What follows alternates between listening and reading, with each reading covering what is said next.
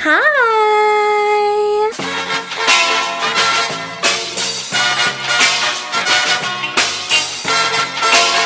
Hello everyone, welcome back to my channel.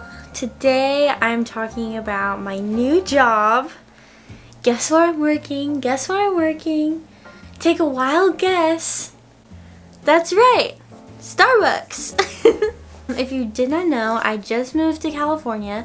Also, I apologize, I have a lisp right now. I just put in my new Invisalign trays, so I'm still getting used to them. So, just ignore that. So, I actually applied to Starbucks online while I was still in Colorado. And I had applied at Starbucks before at different locations back home and I never got an interview. Um, so and then my first job was at an Indian restaurant for a few months, and then I worked at Chick-fil-A for nine months. And now I work at Starbucks in California. So I just applied online, and then I got a call about a week later asking to schedule an interview and I had to tell my manager like hey I'm actually moving to Anna um, to California in a few weeks, so I'm not available for an in-person interview until this date. And she was like, oh, that's totally fine. We're actually going to do our interview on Zoom anyway. And so I was like, okay, cool. And so I had an interview just a few days later. So here's what to expect from a Starbucks interview if you're applying or you're curious. They ask a lot of questions about your experiences and like how you would deal with different situations. They definitely ask you questions like, okay, what would you do if a customer was unhappy? How would you handle the situation? How in the past have you helped a group achieve their goal? What would you do to make a customer have a good experience? Just things like that. Since I have work experience um, and a lot of customer service experience, all the questions were really easy because I could think of examples that I've actually had happen at work for all of them. But I can imagine that the interview questions would be a little bit more challenging if you don't have any work experience yet. And so if you have no job experience, um, you kind of have to think in hypotheticals, what you would do, or in other situations like at school or volunteer work, stuff like that. But all in all, it was a pretty easy interview. My manager was interviewing me and she was so nice and very conversational. And then I had a second interview the next day with one of her colleagues because I don't know if other Starbuckses do this, but they she liked to get a second opinion. And the second interview was basically the same questions, so I used like the same answers because they were literally the same questions of like what would you do in this situation? How would you handle this? Um, tell me about an experience where you've had to work hard, you know, whatever. Things like that. Something that's interesting about Starbucks is the dress code because you don't really have a uniform except for your green apron, which is what the dress code focuses on. The purpose of the dress code is to make the green apron stand out because the dress code has a color palette, basically neutral clothing like blacks, grays, white, cream, navy, just muted, neutral, darker colors so that the green apron stands out. And it's pretty basic with like your shoulders need to be covered, no low necklines, not like short shorts or anything, and you can wear jeans, pants, and they can be patterned but neutral colors. Um, the two things that Starbucks is specific about is no nail polish, no nail anything, which is actually really sad because I had money saved up to get my nails done again. I wanted to start getting acrylics more regularly because I just love having my nails done. But then I asked about it in the interview and she was like, no, no nail, anything. So bare as can be. And that's just a food safety thing. So also the shoes.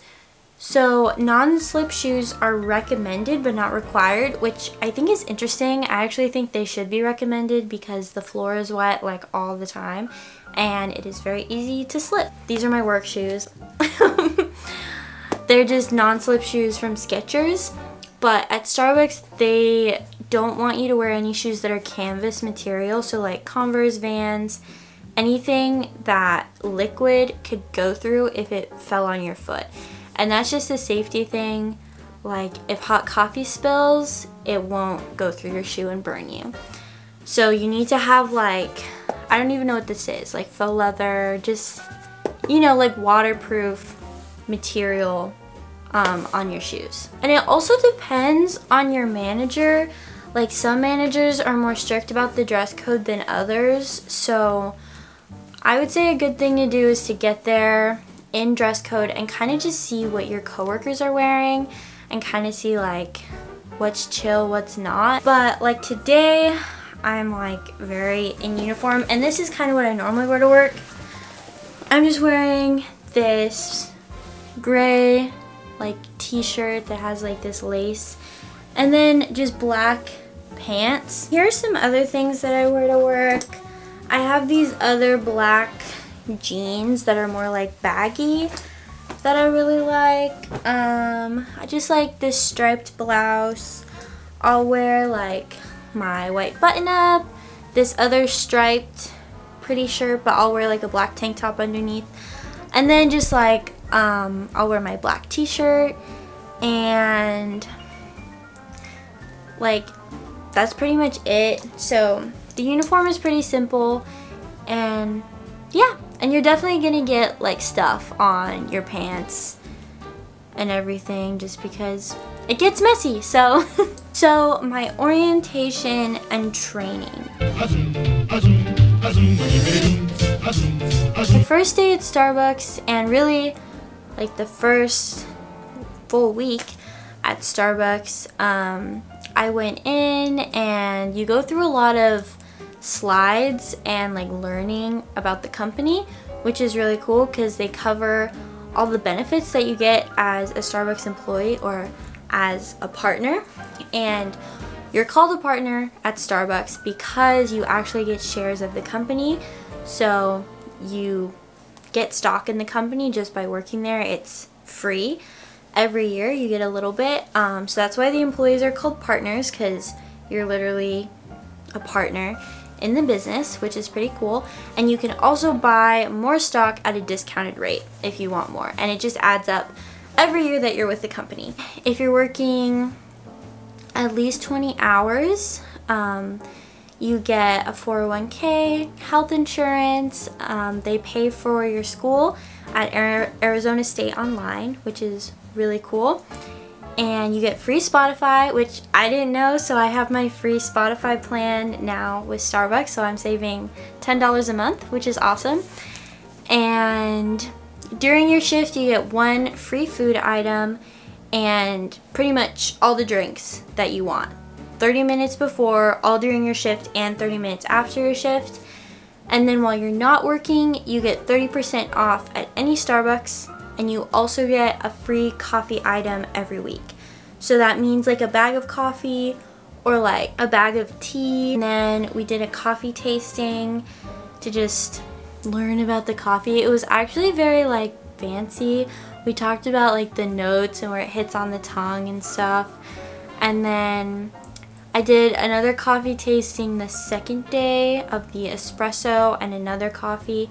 So it was fun. And then you do a lot of modules on the computer. And then you do like in-person stuff learning where everything is.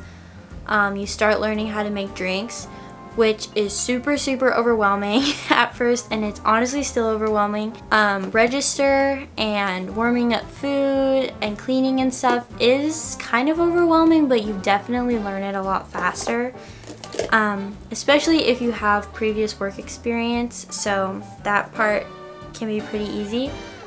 But the drinks is really hard just because there's so many drinks and you need to memorize how many pumps of syrup, how many shots of espresso, how many scoops of this, how many scoops of that. Like, it's a lot. But my trainer was very, very nice and they will show you how to make the drinks and you'll practice making drinks.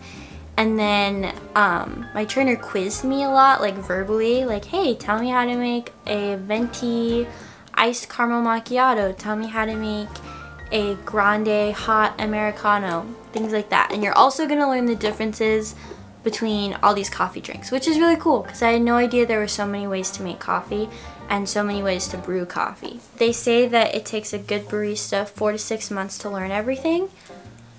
So it's really nice. They definitely are expecting you to make a lot of mistakes and ask a lot of questions just because it is hard to learn everything and they know that, which is really nice. Everyone is very helpful and very understanding that it takes a while to pick things up.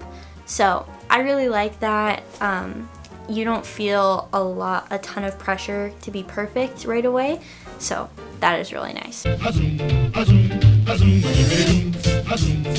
So as for drinks that I would recommend, I have discovered a new favorite drink when I was, because your first few days you taste a lot of drinks because you're to make a lot of the kind of classic drinks on the menu and taste them.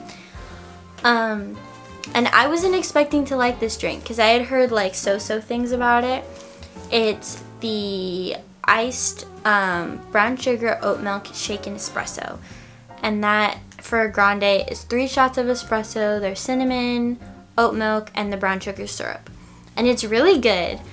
I actually really like it because it's not too sweet. So I like it on its own. But now I like to ask for a little bit of vanilla sweet cream on top.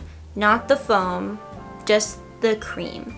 And that is really good. It makes it a little sweeter and a little creamier. I just ask for like a little splash and it's really good. So that's my new favorite drink.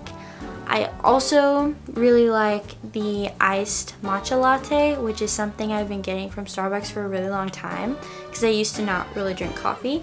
I like the iced matcha latte and I just tried it with the brown sugar syrup, like four pumps of the brown sugar syrup in a grande and it was really good. It gives you kind of the aftertaste of boba. So it gives you like boba vibes and it's really good. Makes it a little bit sweeter. And then I really like the London Fog. So that is an Earl Grey tea latte. It's Earl Grey tea, steamed milk with vanilla syrup. And I love Earl Grey tea. My dad used to make it for me when I was little, so it's just like such a cozy drink. I definitely recommend it if you want something hot on a cold day, but you don't really want coffee or you don't like coffee. I definitely recommend that. Yeah, those are my recommendations, and that's kind of what to expect if you want to work at Starbucks. And so far, it's going well. I really like it. So, yeah. Thank you guys so much for watching and hopefully someday soon I'll do a vlog of a work day. That would be really fun. And yeah, just let me know what you want to see. Bye!